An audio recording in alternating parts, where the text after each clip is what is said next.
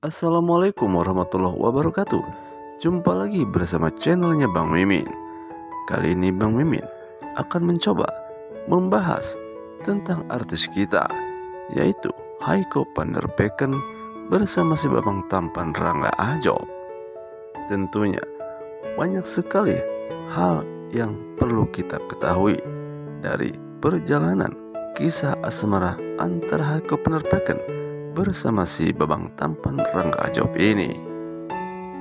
Dari pembuatan video klip Bahagia Bersamamu serta tampil di acara-acara yang lainnya di televisi seperti di Trans 7 misalnya. Dari inset sampai ke acara fitnah atau fakta.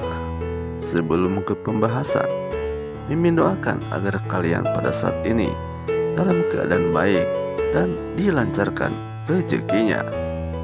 Dan kepada yang baru saja bergabung, jangan lupa like, komen, serta subscribe-nya. Langsung saja ke pembahasan. Ketika Haiko Penerpekan menghadiri acara di Inset yaitu di Trans TV misalnya. Kemudian Haiko Penerpekan dihujani banyak pertanyaan Tentunya pertanyaannya pun seputar kisah asmara antara mereka berdua. Ketika ditanyai oleh tim Inset misalnya, mengapa ia melakukan video klip bersama si babang tampan Rangga Ajob.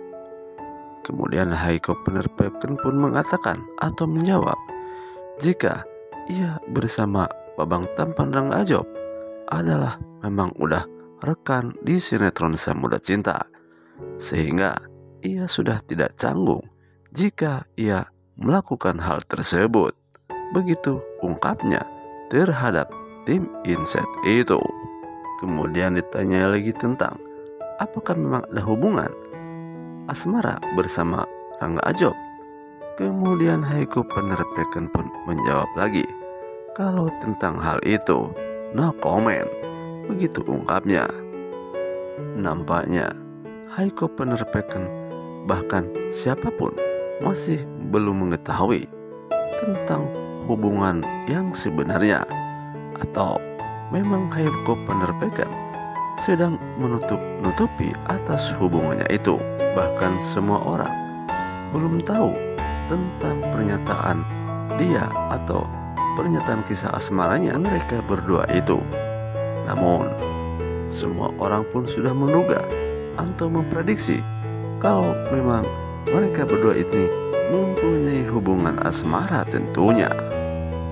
Kemudian selain daripada itu, tim Inset pun mengatakan atau memberikan pertanyaan kepada Hiko Penarpeken perihal pribadinya, yaitu tentang bagaimana pernikahan yang akan dilaksanakan oleh Haiko Penerpeken.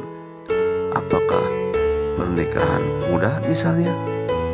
Lalu Haiko Penerpeken pun menjawab, ia menginginkan pernikahan muda. Ia ingin segera memiliki momongan. Begitu ucapan daripada Haiko Penerpeken itu sambil ia pun tertawa ringan. Kemudian terlihat jika Heiko Penerpelkun pun terasa nyaman jika ditanyai tentang hubungan asmaranya bersama Rangga Ajob.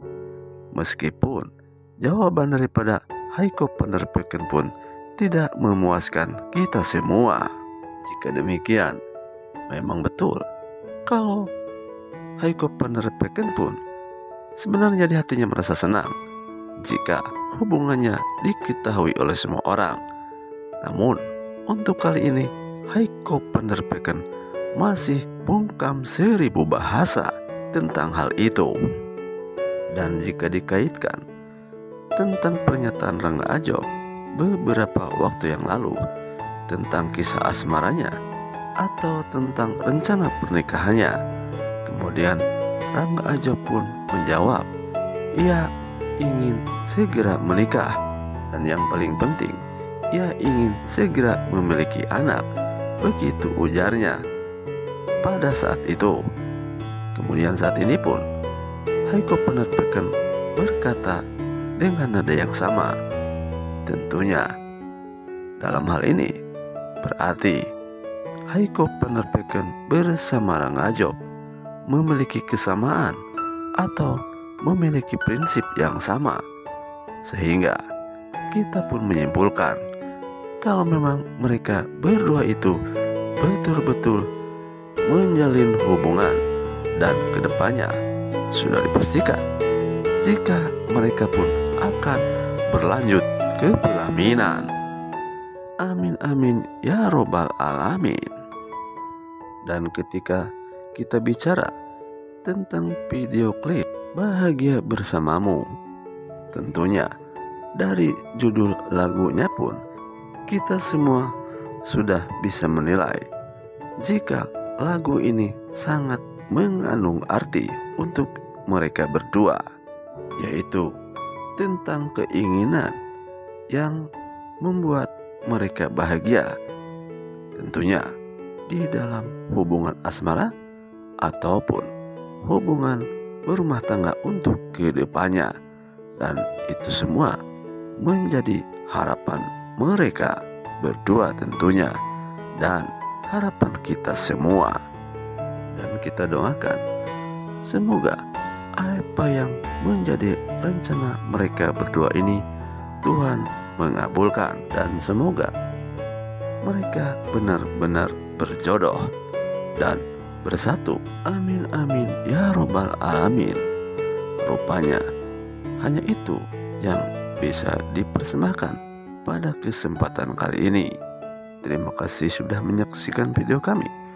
Jangan lupa like, comment, serta subscribe-nya. Selamat berjumpa kembali di cerita artis selanjutnya. Bang Mimin undur pamit. Assalamualaikum warahmatullahi wabarakatuh.